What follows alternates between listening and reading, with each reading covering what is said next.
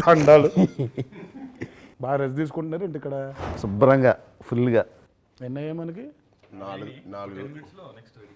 Next ready ten minutes ready ఏంటి? రోజుకి నాలుగు అన్నావు. ప్లీజ్. కాదు ఆయన ఆయన ఎందుకు అలా కూర్చున్నాడు? ఆయన ఆయన వాడొచ్చు కదా? ఈ ఈ కాడి నుంచి నాకు ఫుల్గా ఉంది. కాడ నుంచి? మమ్మల్ని నాలుగేసి ఇంకో నాలుగేసి మీరు ఒకటి చెప్తారా? కాదండి ఇప్పటి నుంచి నాకు నాలుగు ఐదు ఉన్నాయి ఇంటర్వ్యూలు కంటిన్యూస్గా నేను ఈ రోజుకి వైట్ ఫ్లాగ్ ఊపేశాను. మా ప్రభు నన్ను వదిలేని ఇంటికి నేను పోతా. బేబీ నువ్వు ఏదైనా ఉంటే నువ్వు కానీ చేసుకో. ఏం లేదు. అవును రాజమౌళి అండ్ చరణ్ కాంబినేషన్ ఒకటి జరగాలి బాగుంటుంది. డబుల్ ఆర్ నన్ను వదిలేను ఓపిక లేదు. ఎవరికైనా బెంగళూరు ఈవెంట్కి డ్రెస్సింగ్ ఏంటి ఏం డ్రెస్ వేసుకుంటున్నాం డ్రెస్సింగ్ ఏదైనా కన్నడ భాష మనవడదు కదా సార్. మాట్లాడితే మామూలు ఏ కలర్ ఏ కలర్ వేసుకుంటున్నాను నేనా మిలిటరీ జాకెట్ అనుకుంటున్నా. క్యామఫ్లాజ్ మీది నువ్వు మిలిటరీ జాకెటా? అంటే కాదు ఎంట్రీ అప్పుడు కొంచెం లైటింగ్ మీది బ్లూయిష్ కైండ్ ఆఫ్ లైటింగ్ నీది ఆరెంజిష్ కైండ్ ఆఫ్ లైటింగ్. మీకు దండం. ఎంట్రీలో మీరు పట్టించుకోకండి. గట్ట గట్ట స్టేజ్ ఎక్కి చేస్తాం మళ్ళీ దానికి రీషూట్ దుబాయ్లో చేద్దామని. లేదా రేపొద్దున మనం అక్కడ స్టాచ్యూ ఆఫ్ యూనిటీ దగ్గరికి వెళ్తే అక్కడ చేద్దాం ఎంట్రీ అని. మీకు దండం ఎట్టో గట్ట వచ్చి వస్తుంది అది లైవ్ ఇంక దానికి చేసేది ఏం లేదు. సార్ ఈ ఎంట్రీ నేల మీద లేకపోతే గాళ్ళలోనా చేద్దామా చేద్దామా? పైన. సేమ్ సేమ్ సెటప్ ఊరికే. నువ్వు అసలు పడుకో కాసేపు నువ్వు రెస్ట్ తీసుకో సైలెంట్ అయిపో. కాదు నాకు నిద్ర వస్తుంది కొంచెం ఎక్కడైనా. మీకు ఏదైనా కావాలా? నా కాఫీ పెట్టా? కాఫీ. కాఫీ తాగుతారా? నువ్వు పెడితే విషం కూడా తాగుతాను. ఆ, ఏం బాబులు ఇక్కడ ఏం పెట్టారు? పక్కనే ఉందేమో చూడు రెండు డ్రాపులు పాయిజన్ వేసి ఇచ్చేయి. కాదు చరణ్ మిలిటరీ జాకెటా మిలిటరీ జాకెట్ నాది. లోపల మొత్తం మిలిటరీ గెటప్ ఏంటి? లోపల లేదు. కాదు బాగుంటుంది అది ఆరెంజ్ లైట్లో మిలిటరీ జాకెట్ సార్ దానికి టెస్ట్ షూట్ పెడతారండి ఇప్పుడు.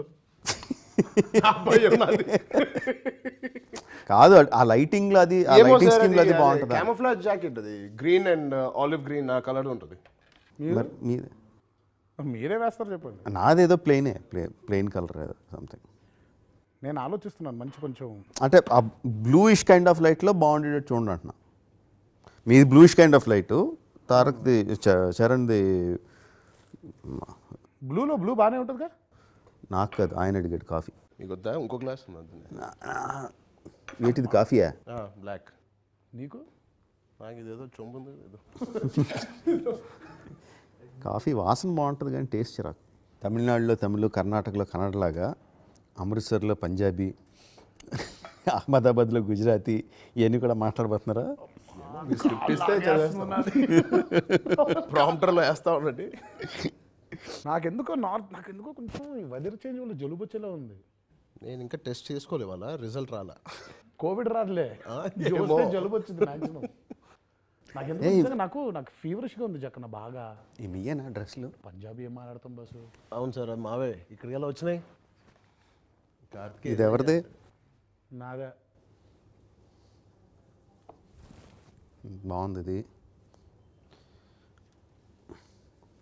కాకపోతే ఇది దీనికి కాదుగా ఈవెంట్కి కాదుగా ఇవి ఈవెంట్గా జక్కన లేకపోతే మామూలుగా ట్రిపుల్ ఆర్ వేసుకుని తిరుగుతావు ఏంటి ఈవెంట్ కాదు కాదు. interview కి, sorry. ఆ, ఇది బాగుంది. నా ఇది చాలా నచ్చింది కలర్. Sir మీదేనేమో sir? కాదు కాదు నాది కాదు నాది కాదు. నాది నాదే అవన్నీ లేదా అది నాది? మూడు నాదే చరణ్. కాదు ఇది కొంచెం బాగుంది అది నాది. ఈ కలర్ చాలా బాగుంది. ఏ చరణ్ ఈకి చరణ్. కార్ ఇదే నాది కార్ చరణ్ ఎవరు అవి? ఆ మూడు నాయే కదా? ఆయనకు చెప్పు. కాదు కార్త్ అది నాకు బాగుంది నాకు కొంచెం పంపి. ఇది ఈ కలర్ కూడా చాలా ఇంటర్వ్యూ నువ్వే చేసేసుకో. రెండు నావి సార్. అమృత్సర్కి నువ్వే వెళ్ళిపో. వడోదరాకి నువ్వే వెళ్ళిపో. నన్ను వదిలే. హ్యాపీ వద్దులే ఆ షర్ట్ కోసం అన్ని చోట్ల నేను తిరగలేను నన్ను వదిలే. అమ్మా జక్కన్న అమ్మగారిని అడిగితే ఇంకోటి ఫ్రీగా ఇంటికి పంపిస్తారు. సరే ఇది రిలీజ్కి. Coming to the main theatre main theatre అంటే ఏంటి ఆర్టీసీయా లేకపోతే ఆర్టీసీ క్రాస్ రోడ్ అంటే యూజువల్ మా యూజువల్ది we go to Bhramaramba morning show five o'clock six o'clock నాకు రావాలని ఉంది సార్. ఎలా రావాలో మీరు చెప్పండి. జక్కన్న ఏ థియేటర్కి వెళ్తే నేను ఆ థియేటర్కి వెళ్ళిపోతున్నాను అంతే. ఇదేదో బాగుంది. రానివాడు ఇందాకే చెప్పారు కదా. రానివ్వడాలా నా థియేటర్ మీరు ఏ థియేటర్కి వెళ్తున్నారు ప్లాన్ చేసుకుంటే ఏ నేను వేరే థియేటర్కి థియే- నేను వేరే? థియేటర్ పెట్టుకుంటా. మీరు ఇద్దరు దేనికి వెళ్తున్నారు ప్లాన్ చేసుకుంటే మీరు దేనికి వెళ్తారో మాకు చెబితే మేము దానికి వచ్చేలా ప్లాన్ చేసుకుంటాం. మేము పొద్దునే నా కార్ తీసి ఇచ్చి మీ కార్ వెనకాల పార్క్ చేస్తా సార్. మీ కార్ ఎట్టు వెళ్తే నా కార్ ఎట్ట వస్తుంది. నేను అవసరం అయితే రాత్రి అయితే పడుకుని పోతా థియేటర్లో ఏముంది? కాదు బెస్ట్ ఏంటి చెప్పనా? పొద్దున్నే వచ్చేసి ఉంటారు ఫ్యాన్స్ అర్ధరాత్రి నుంచి ఉంటారు అక్కడ ఫ్యాన్స్ సో వాళ్ళందరినీ తప్పించుకొని మీరు లోపలికి వెళ్ళడం కష్టం. కాబట్టి ముందు రోజు రాత్రి వెళ్ళిపోయి లోపలికి. స్లీపింగ్ బ్యాగ్స్ తీసుకున్నాను స్లీపింగ్ బ్యాగ్స్ వేసుకొని రాత్రి థియేటర్లో పడుకొని పొద్దున్న వచ్చేసరికి మీతో పాటు ఇంకొంతమంది జనాలు ఆల్రెడీ ఉంటారు. సో అప్పుడు ఇంక అటెన్షన్ మీ మీద ఉండదు. హౌ డూ థింక్ ఆ, పొద్దున వచ్చే కొంతమంది జనాలు మమ్మల్ని చూడరండి. మమ్మల్ని ఎవరు అనుకుంటారు అక్కడ? కాదు రాత్రి వెళ్ళిపోమంటున్నా. ముందు రోజు రాత్రి. అవును ముందెళ్ళి పడుకుంటా. పొద్దున్న థియేటర్లోకి రారేంటి ఇల్లు ముందు వచ్చినప్పుడు ముందు మే మా- మిగతా జనాలు మిగతా మీ బాడీ గార్డులు మీ ఫ్యామిలీ వాళ్ళతో కలిసి వచ్చేస్తారు కదా. ముందు వాళ్ళు ఆ, వచ్చేటట్టు చూసుకుందాం.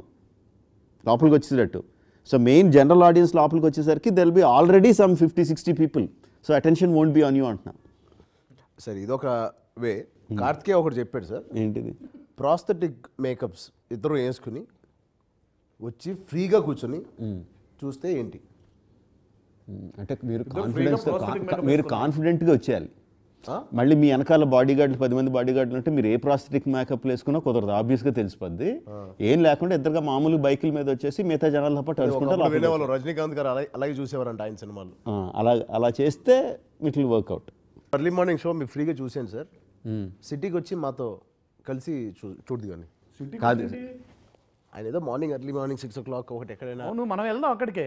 తర్వాత ఆయన ఫ్రీ ఆయన సాయి గారు ఎక్కడైనా చూసి కాదు మా మా ఈసారి సాయి గారి ప్లానింగ్ అంటే కర్నూలు వెళ్ళి చూద్దాం ఫస్ట్ అది మీరు మార్నింగ్ చూసాను sir six o'clock show. Nine o'clock ten థర్టీకో ఏదో మమ్మల్ని తీసుకెళ్ళారు. కర్నూలులో సిక్స్ ఓ క్లాక్ షో చేసి టెన్ ఓ క్లాక్ హైదరాబాద్లో ఎలా చూస్తాం అసలు చెప్పి ఊరినే. జస్ట్ కార్తికే హెలికాప్టర్ పెడతారు సార్ మీకు.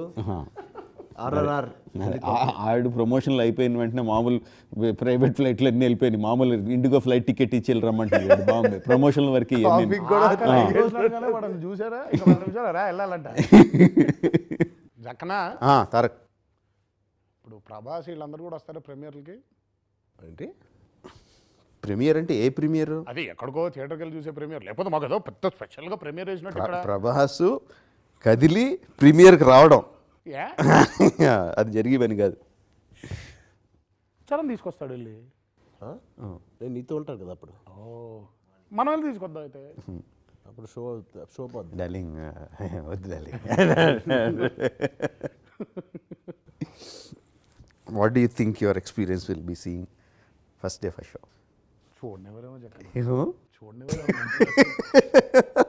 we just have to audience reaction అంటే మనం కోసం. యూఫోరియా కోసం ఏమీ కనపడదు ఏమీ వినపడదు. అంటే ఏవి కనబడితే ఏం వినపడదు. అంటే మేము కూడా వచ్చి కూర్చో అంటే నాకు తెలియదు జక్కన ఒక్కసారి నన్ను ఆ బృంద చెప్పాగా మీకు బృందావనికి ఒకసారి తీసుకెళ్ళారు వెళ్ళి కూర్చొని అలా చూసి వచ్చా. ఏంటంటే సినిమా చూడట్లేదు ఇటు ఇటు నేను అందరు అటు తిరగండి అటు తిరగండి కానీ బాగుంటుంది అదొక్కటి మాత్రం చూడాలి ఎప్పుడో మిస్ అయిపోయింది. అది ఎన్ని సంవత్సరాలుగా నువ్వు అనిపించలేదు. నువ్వు నువ్వు ఎప్పుడు వెళ్ళావు? లాస్ట్ ఎప్పుడు వెళ్ళావు నువ్వు? చిరుతాకి వెళ్ళా ఫస్ట్ సినిమా సినిమాకి తర్వాత అసలు ఫస్ట్ డే ఫస్ట్ షో చూడలేదు థియేటర్లో అసలు మామూలుగా జనాలతో చూసావు థియేటర్లో అదే చిరుతాకి చూసా. చిరుత తర్వాత చిరుత తర్వాత నీ సినిమాని ఆడియన్స్తో కలిపి చూసావా? చూడాల. మీరు ప్రీమియర్ షో వేస్తే మాకు దగ్గర మేము క్వైట్గా అక్కడికి వచ్చాం. అదే అదే అంతే. మొత్తం అంతా ఇండస్ట్రీ వాళ్ళు అది అంతే అది. అదే నేను జనరల్ ఆడియన్స్తో అంటున్నాను లేదు అసలు. కనీసం చిరుదని చూసాను నేను అది కూడా చూడలేదు ఇప్పటిదాకా. లేదు చూడాల. ఇప్పటిదాకా. Man you are missing a lot మీరు తీసుకెళ్ళట్లేదు నన్ను. అందుకే ఇప్పుడు తీ- ఈసారి ప్లీజ్ కొంచెం మీరు దగ్గరుండి ప్లాన్ చేస్తే మాకు కూడా నమ్మకం ఉంటుంది. కానీ షూటింగ్ మాత్రం బాగా ఎంజాయ్ చేశాను. లాస్ట్కి వచ్చేస్తున్నా. మీ- మీకేంటి ఇది ఈజీ స్టెప్లే అసలైన స్టెప్లు మళ్ళీ అక్కడి నుంచి ఉక్రెయిన్ వెళ్ళి చేయాలన్నా?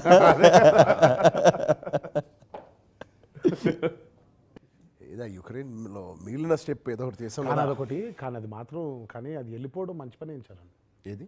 యుక్రెయిన్కి మనం ఎంత ఫైవ్ డేస్ ముందే కదా వెళ్ళిపోయింది. అవును అవును షెడ్యూల్కి ఫైవ్ డేస్ ముందే వెళ్ళిపోయి గ్యాప్ ఉండింది కొంచెం. సెటిల్ అవ్వడానికి. అవును. బిఫోర్ అవును. యూ స్టార్ట్ ద వార్ అనస్ కొంచెం ప్రిపేర్ చేసి. గుర్తుందా అక్కడ మాల్ మాల్లో. ప్రాక్టీస్ మీరు అప్పుడు మా ఇద్దరు సింక్ గురించి అప్పుడు చెప్పినప్పుడు మాకు దాని వాల్యూ తెలియలేదు సార్. ఫ్రాంక్లీ మాకు వచ్చేసింది తనకు వచ్చింది ఇద్దరు వెళ్ళి ఆడుతుంటే రావట్లేదు. ఆహా మనకు వచ్చేసింది. ఆయనకు కావాల్సింది రావట్లేదు అది. ఇప్పుడు నాకు కావాల్సింది ఏం లేదు ఇద్దరు పర్ఫెక్ట్ సింక్లే చేస్తే బాగుంటుంది అంటే మీరు మామూలుగా మాటలో చెప్పారు అదే ఉంది వచ్చేస్తుంది కదా సింక్. సింక్ అంటే మా ఉద్దేశం ఏంటి. తప్పు, బీటుని పట్టుకుంటే అయిపోయింది కదా. అప్పుడు అర్థం బీటుని కాదు మనల్ని మనం పట్టుకోవాలి. పోస్టర్ చూస్తే మన ఇద్దరు ప్యాంట్లు కూడా ఒకటే స్టెప్ వేసినాయి. అది. టూ మచ్ అది మరి. అసలు ఇంకా అమ్మో అది అది ఏంటో అది అలా కుదిరిపోయింది. అవును కాదు మరి ముందు ఎత్తర జెండా షూట్ చేశాం కదా. ఎత్తర జెండా చేసినప్పుడు యాస్టీ సింక్ వచ్చింది కదా. కాదు పర్ఫెక్ట్ సింక్ వచ్చింది కదా. ఎక్కడ hardly one or one or two times కొంచెం సింక్ అవ్వలేదు అనుకున్నది.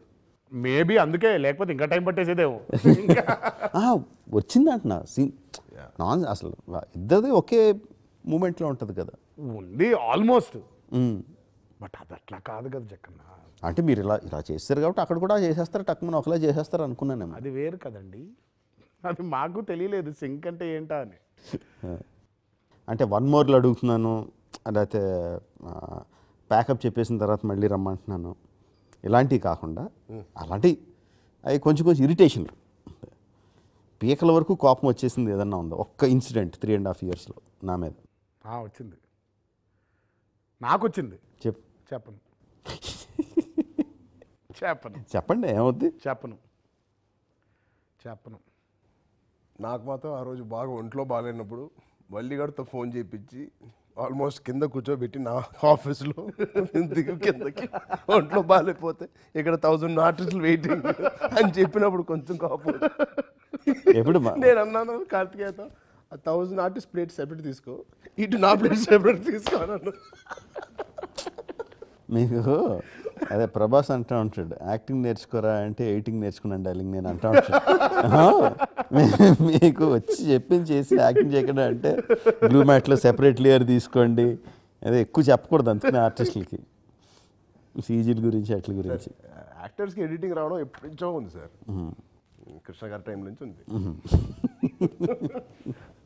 నాకు ఒక్కటే అసలు ఏముంది నాకు కోపం అంటే నాకు నాకు అదేంటో తెలియదు కానీ అసలు ఈ త్రీ అండ్ హాఫ్ ఇయర్స్ అని ఇది కాదు. అసలు ఇన్ జనరలే నాకు నీ మొహంలో ఎంపతి కనిపించదు. ఇరిటేషన్ వచ్చేస్తూ ఉంటుంది. ఎంపతి కనిపించదు నాకు. కనిపించకూడదేమో.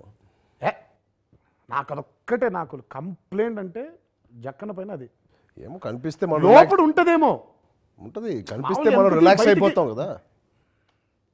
నువ్వు బాగాలేవాడివి పాయింట్ బి నోటెడ్ మా. ఎందుకు రిలాక్స్ అవుతావు? మళ్ళీ అయినా కదా మనం మొదలు పెడతాడు మళ్ళీ బత్తే వచ్చుకున్నాయి అంతేలే ఆ రోజుకి ఆ రోజు మళ్ళీ మార్నింగ్. ఆ, ఈ రోజు కంపెనీ కనిపించింది రేపు లేదు. అయిపోయింది కదా. ఏంటంటే నా నా కాన్స్టెంట్ ఫీర్ చెప్పనా? అంటే అది లాజిక్కో ఇల్లాజికల్ అది అది పక్కన పెడితే మెంటల్గా ఈరోజు ఈ షార్ట్లు తీయాలి అని ఫిక్స్ అవుతా. ఫిక్స్ అవడం ఫిక్స్ అవ్వలేదు. ప్లాన్ చేసుకుంటాం ఇన్ ఇన్ ఒక టార్గెట్ ఉంటుంది. ఒక టార్గెట్ ఉంటుంది నెంబర్ ఆఫ్ షాట్ అది అవ్వకపోతే లోపల నుంచి ఒక గుబులు తన్నుకొచ్చేస్తూ ఉంటుంది. ఆ నెంబర్ ఆఫ్ షార్ట్స్ అవ్వకపోతే అంటే we know how much we're spending per day అంటే like at an average we're sending like fifty lakhs a day no we're plan ఎన్ని ప్లా షార్ట్లు ప్లాన్ చేస్తాం? ఒక్కోసారి ఓన్లీ టెన్ షార్ట్స్ ప్లాన్ చేస్తాం. Right because of the setup అదంతా. So each short five lakhs కదా. అంటే ఆ రోజు అది అవ్వకపోతే అంత అంత వేస్ట్ అయిపోయినట్టు అంత డబ్బు వేస్ట్ అయిపోయినట్టు కదా. ఆ టెన్షన్ కాన్స్టెంట్గా ఉంటూ ఉంటుంది. ఇప్పుడు నువ్వు మీరు వచ్చి ఏదో నొప్పి వచ్చిందని చెప్పారు. ఎగ్జాంపుల్ చెప్తాను ఏదో తనకి ఏదో తల నొప్పి వచ్చిందని చెప్పాడు. So if I pay empathy to that empathy to that then నిజంగా నేను ఫీల్ అయ్యాను అనుకో దానికి. ఓకే రెస్ట్ తీసుకొచ్చారని అనాలి. That's it that's natural thing ఎవడన్నా అనాలి. రెస్ట్ తీసుకో అంటే నాకు రెస్ట్ మిగతా నాలుగు షాట్లు మిగతా ఐదు షాట్లు ఇదంతా ఆ టెన్షన్ వచ్చేస్తూ ఉంటుంది. సి కొంచెం లాజికల్గా ఆలోచిస్తే అరే హీరో ఆ నొప్పితో చేస్తే ఇంకా పెరిగితే ఇంకా ఎక్కువ నష్టం అవుద్ది కదా అనేది కామన్ సెన్స్ బట్ లోపల వచ్చేస్తూ ఉంటుంది గుబులు. నొప్పి అంటే నొప్పి అంటే ఇప్పుడు వెళ్ళిపోతానంటాడా వెళ్ళిపోతానంటే ఎన్ని అయిపోతాయి ఇవన్నీ ఈ ఈ లోపల స్టార్ట్ అయిపోద్ది. అందుకని I try to keep my face అసలు face. Poker face poker face ఎన్ని సార్లు వచ్చేసిందో కోపం అసలు. అసలు అంటే పోనీ ఏదో అట్లీస్ట్ నేను ఇంకోటి అంటే కానీ నేను చరణ్ ఇద్దరం కూడా పిచ్చి సాకులు చెప్పేసి ఏదో స్కూల్ నుంచి వెళ్ళిపోయే టైప్ కాదు కదా. కాదు నా ఎంపతి చూపించాడు ఏంటి అసలు నిజం? బాబోయ్ బాబోయ్ ఒక రోజు నీకు గుర్తుందా చరణ్? అసలు ఇంకా ఆ గుద్దులు గుద్దులు గుద్దుకుంటాం కదా. ఇద్దరు ఆ, గుద్దుకు గుద్దుకున్నావా పైగా ఆ మధ్యలో ఒక సీక్వెన్స్లో మొత్తం మిస్లే నువ్వు దొరకట్లేదు. అదే. ఇక గాల్లో గుద్దేసుకోవడం కదా. నెక్స్ట్ డేకి భుజం జబ్బలు లాగేస్తున్నాయి. కరెక్ట్గా ఆ జంప్ ఉంది కదా. అవును అవును. అది పెట్టాడు. ఇక నేను ఆ రోపు వేసుకుని నాకేమో ఇలా లాగుతున్నప్పుడల్లా ఆ రోప్లో అసలు అన్బేరబుల్ పెయిన్ లాగేస్తుంది. చేయడం అలా కూర్చోవడం స్టూల్ పైన. అలా చూస్తాడు ఏమన్నాడే? చూశాడు చూశాడు నాకు వెళ్ళిపోతుంది కా గుర్తుందా నీకు? కొంచెం వచ్చేస్తుంది. నెమ్మదిగా అలా వచ్చాడు. తర్వాత ఏది? ఒక ఈ రిహర్సల్ చేసిన ఒక గంటకో గంటన్నరకో నెమ్మదిగా వచ్చి వెళ్ళిపోతారా అన్నాడు. అన్నా నాకైతే ఆల్మోస్ట్ ఏడుపు వచ్చేసింది. ఇది ఫైనల్గా నువ్వు రియలైజ్ అయ్యావా బాబు? నాకు నొప్పి నిజంగా జెన్యున్గా నొప్పి వస్తుందని నువ్వు రియలైజ్ అయ్యావా అని. వెళ్ళిపోతారా అన్నాడు.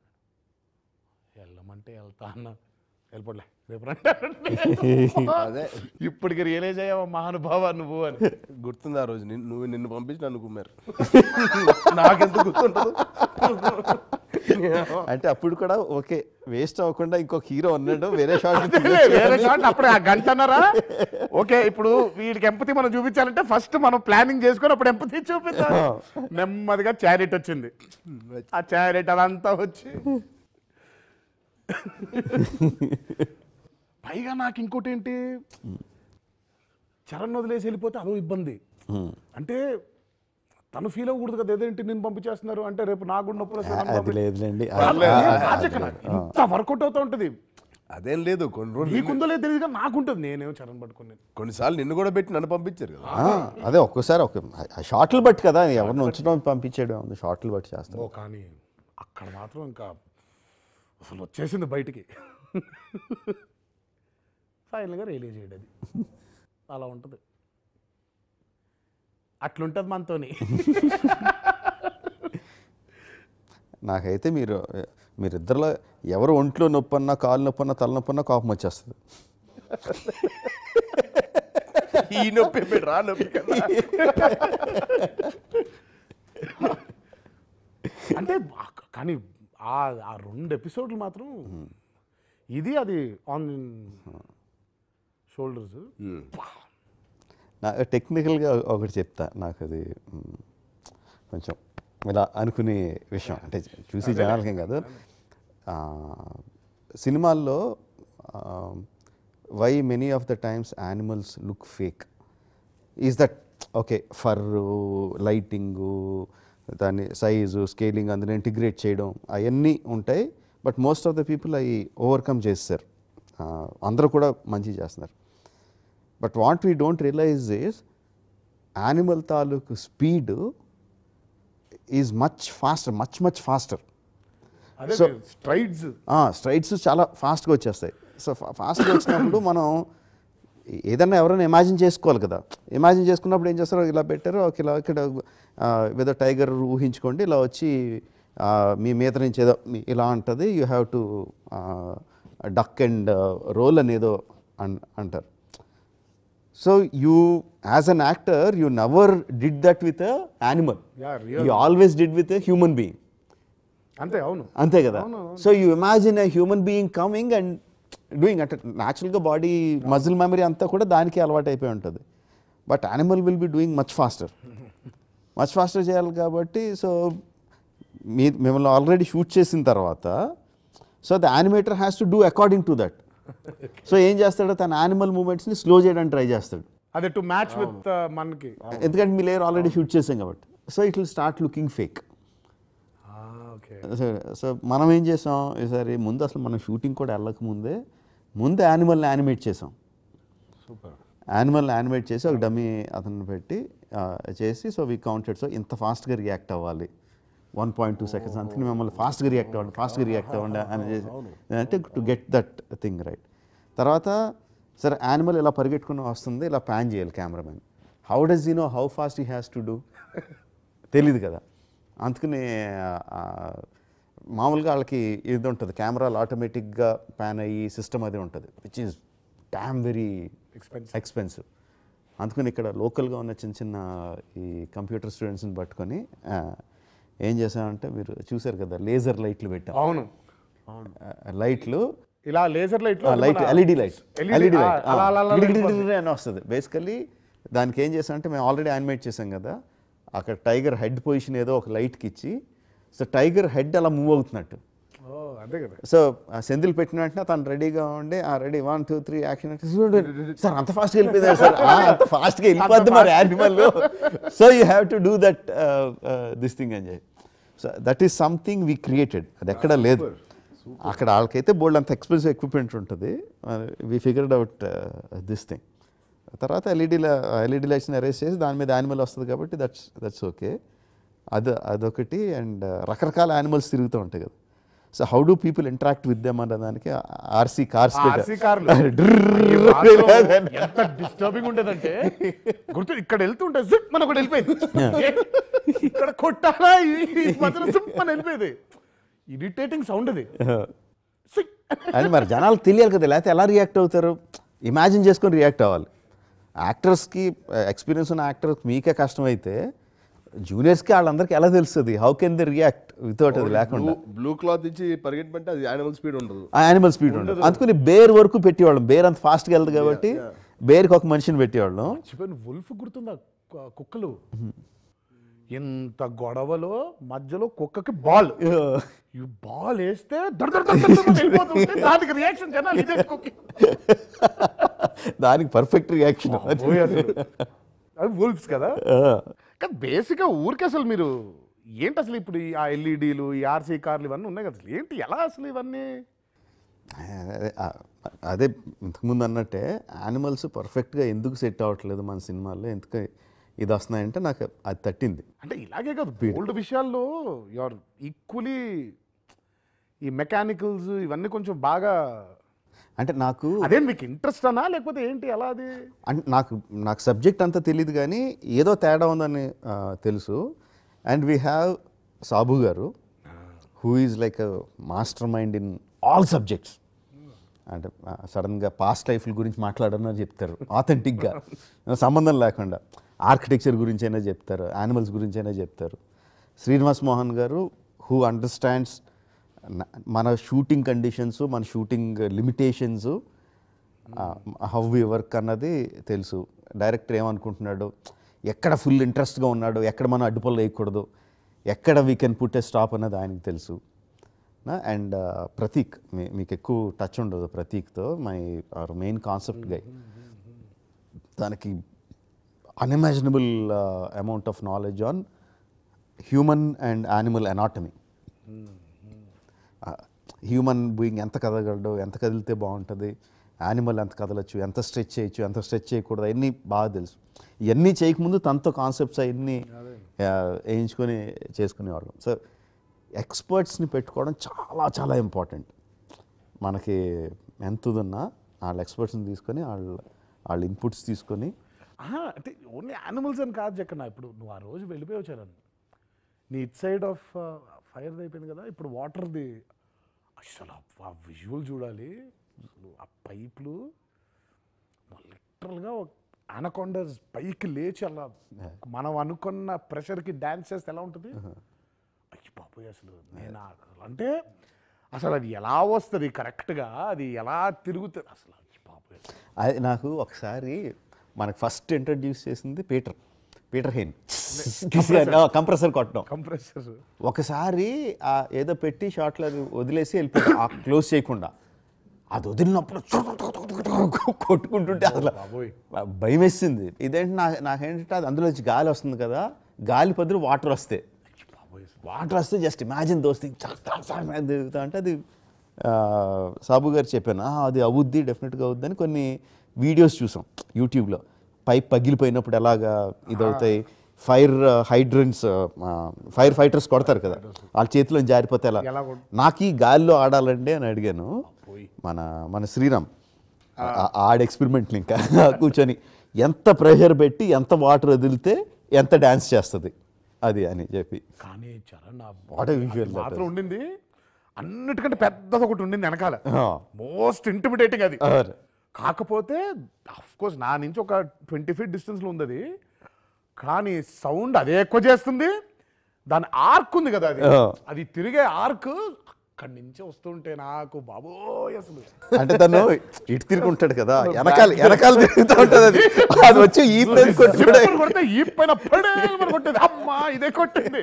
ఇదే కొరడా దెబ్బల్లో ఇదే కొట్టింది. కొడితే రియాక్ట్ అవ్వకూడదు దానికి. అంటే నో వన్ మోర్ అమ్మో కానీ చాలా ఇంటిమిడేటింగ్ అంటే కాచరణ్ బయట నుంచి ఏదో ఉండింది కానీ అక్కడికి వెళ్ళిన తర్వాత when you hearing that sounds and all I'm sure నీకు కూడా అలాగే ఉంటుంది. నువ్వు ఇప్పుడు ఇటు తిరుగుంటే వెనకాల అలా వెళ్ళిపోతుంటే ఫైర్స్ అవి. తెలియదు కదా ఒకటే వెనక్కి వచ్చేసి. నాకు అదే ఫైర్ క్రాకర్స్ హట్ అదేనా? హట్ పగిలినప్పుడు. ఒకటి వచ్చిందా గుర్తుందా కత్తిగా ఉందా? ఒక ఒక రాకెట్ నా మొహం నుంచి వెళ్ళింది ఆ స్ట్రింగ్ మీద ఉందేమో అనుకున్నా. అంత పర్ఫెక్ట్గా హీరో పక్క నుంచి వెళ్ళిందంటే స్ట్రింగ్ లేదు రాకెట్ స్ట్రింగిల్ పెట్టాం. స్ట్రింగ్ మరి స్ట్రింగిల్ పెట్టకుండా నేను అంటే అట్లా పెట్టాలో ఒకటి ఇలా వెళ్ళింది. ఇదేంటి ఇంత బ్యూటిఫుల్గా వెళ్ళిందో ముట్టుకుంటే స్ట్రింగ్ లేదు అక్కడ. ఓహో ఊడిపోయి అందులోంచి ఊడిపోయి వెళ్ళిపోయింది. వెళ్ళిపోయింది. One of the best visuals ఆ వాటర్ కానీ ఇక్కడ ఈ ఫైర్ కానీ రెండు uh, మంచి విజువల్స్ అయ్యి అంటే విజు దాన్ని అది అలా రావడం అది అలా అది. ఇక్కడ అంతా అయిపోయి థియేటర్లో చూడాలి దానికి రియాక్షన్ నాకు ఇంకోటి మంచి షాట్ ఫెన్స్ తీసి వేసేటప్పుడు నా నిక్ ఆఫ్ ద మూమెంట్ వెళ్తాను కదా సార్. ఆ ఫెన్స్ తాలూకు రాడ్. అవును. అది నాకైతే టెరిఫిక్గా అనిపించింది. ఇది ఏ ఎపిసోడ్ సిమెంట్ పోల్ లేపి వేస్తాడు నా మీద. అవును అవును అవును. నేలలో కూర్చుకొని తార్ రోడ్ అంతా పీసులు పైకి రాదు. కోపం. ఇది ఆ, ఆ. ఇంకా ఆఖరిగా నువ్వు ఆ దాని మీద క్లోజ్అప్ షాట్ అయిపోయిన తర్వాత ట్రైలర్లో మనం చూసిన క్లోజ్అప్ తర్వాత ఆ? జర్నీలో క్లోజ్అప్ ఉంటుంది కదా నీ ఫస్ట్ క్లోజ్ అదే అదే అవును. ఆ క్లోజ్అప్ తర్వాత ఇమీడియట్ షాట్ నాకు చాలా నచ్చింది ఆ షాట్ నాకు ఆ ఎపిసోడ్ చూస్తే చాలు. ఆ రియాక్షన్ ఏదైతే ఎక్స్పెక్ట్ చేస్తున్నావు ఆ రియాక్షన్ ఉంటే చాలు. నాకు తెలిసి జస్ట్ అలా చూడడమే ఇంకా అది అంటే they won't be a blink నాకు అది ఒక ఆనందపడాలో బాధపడాలో ఎలా ఫీల్ అవ్వాలో తెలియదు it's almost like fifteen minute episode by the time we come to the end ఆ ముందు జరిగిన పదమూడు నిమిషాలు గుర్తుండదు.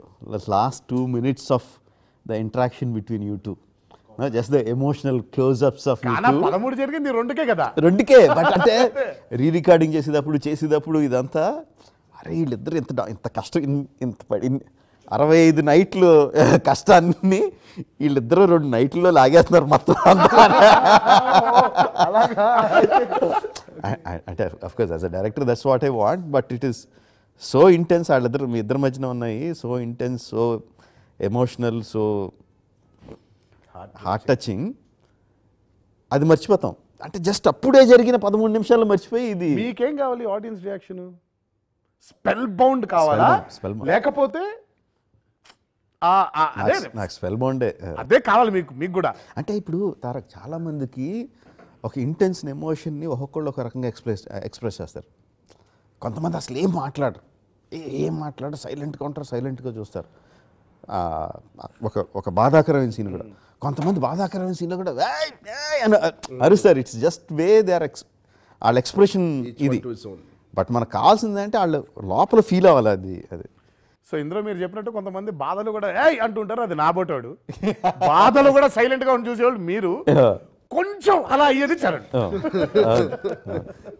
బట్ అంత వాళ్ళు అంత ఎమోషనల్గా ఫీల్ అవ్వాలి అన్నది నా intention as a director I think తెలిసి ఖచ్చితంగా అది మాత్రం అవుద్ది చక్కన అది చేసేటప్పుడే మాకు అనిపించింది అది ఇద్దరు క్లోజులు సెపరేట్ తీశాను కదా. ఫస్ట్ తారక్ క్లో- చరణ్ క్లోజులు తీసినప్పుడు ఏం ఏం చేశాడు అసలు? నెక్స్ట్ తారక్ తారక్ "అరే, అమ్మా ఏం చేశాడు? మళ్ళీ లాస్ట్ షర్ట్లు తెలియ తీసిన "అరే, అమ్మా ఏం చేశాడు అని వెరీ అంటే నాకు ఇద్దరిది బెస్ట్ పర్ఫార్మెన్స్ ఏంటి సినిమాలో అంటే రెండు. రెండోది చెప్పకూడదు. ఫస్ట్ ఆ- అదే నీకు అది జీడిపప్పులు గుర్తుందా? హిందీ కిరవాణి గారు కోడ్ లాంగ్వేజ్? తెలీదు. సినిమా మంచి. జీడిపప్పు ఉప్మా. ఉప్మా మామూలుగా తింటుంటే బాగుంటుంది. అప్పుడప్పుడు ఓ జీడిపప్పు వస్తే ఇంకా బాగుంటుంది. జీడిపప్పులే స్క్రీన్ ప్లే హైస్ అనమాట highlights highlights highlights of the movie your introduction his introduction ఇలా జీడిపప్పు. ఒకేసారి అంటే ఒక్కోసారి ఏమంటే సగం జీడిపప్పులు వస్తాయి ముక్కలు ఒకసారి ఫుల్ జీడిపప్పు వస్తుంది ఒక్కోసారి ఒక స్పూన్లో దాదాపు మూడు నాలుగు జీడిపప్పులు వచ్చేస్తాయి. ఆ జీడిపప్పు చెప్పనంటాడు దీని అది కాదు. ఇదే మామూలుగా సినిమా అయిపోయిన తర్వాత లెక్కేసుకుంటాం. సినిమాలో ఎన్ని జీడిపప్పులు ఉన్నాయరా? Hero introduction second hero introduction ఆ నాట్ నాట్ స్టెప్ ఆ ఇంటర్వల్ సెక్షన్ ఇలా ఇలా ఇలా లెక్కేసుకుంటాం. మొత్తం సినిమాలో ఎన్ని జీడి? ఎన్ని జీడిపప్పులు ఉన్నాయో లెక్కేసుకుంటాం. పెద్దన్న అనేది అంటే ఆ సినిమాలో ఇది ఉంది అది ఉంది ఇది ఉంది ఇది ఉంది సెకండ్ హాఫ్లో మనం ఏదైతే మాట్లాడుకుంటున్నామో అది జీడిపప్పు కాదురా అది ఆటం బాంబు అది తీసి పక్కన పెట్టే. అది అది ఆటం బాంబు ఇవన్నీ జీడిపప్పులు అన్ని లెక్క. సో ఇంటర్వల్ తర్వాత వచ్చేది ఆటం బాంబు